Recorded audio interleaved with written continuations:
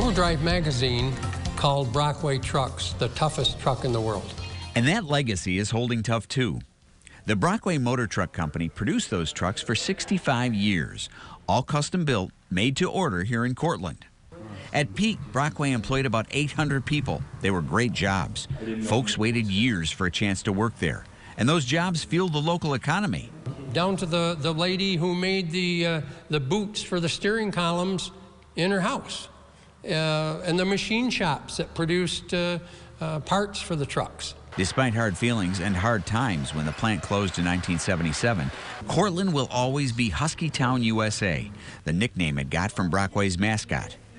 To fill the first floor because there's. The city of Cortland's centennial in 2000 included a gathering of truck collectors from all over the country. It was supposed to be just a one time show. And once those Brockway owners came, uh, there was no uh, one show. They wanted to come back the next year. They, they were going to come back forever. And they have. This weekend marks the 20th reunion, and they expect the largest crowd ever, with over 150 trucks and visitors from all around the globe. Every one of them has a story. It's rumored this produce truck, for instance, may have taken on other loads during the Depression. They would pick up barrels of liquor in Long Island Sound, put them in the truck, cover the truck with vegetables, and head for town.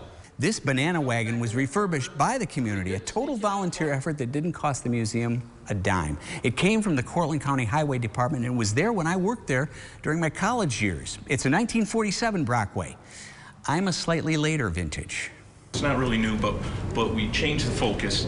And much of this weekend revolves around the Brockway Museum, part of the Central New York Living History Center on Route 11 between Cortland and Homer. Opened in 2012, its mission is to keep alive memories of the days when manufacturing and agriculture were at the center of life in the Seven Valleys.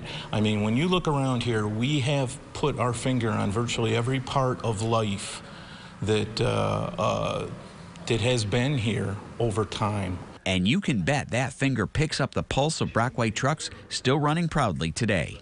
From Cortland, I'm Tim Fox, News Channel 9. Tell us something good. Got a great story worth sharing? Send us an email at somethinggood at localsyr.com or post to social media using the hashtag somethinggoodsyr.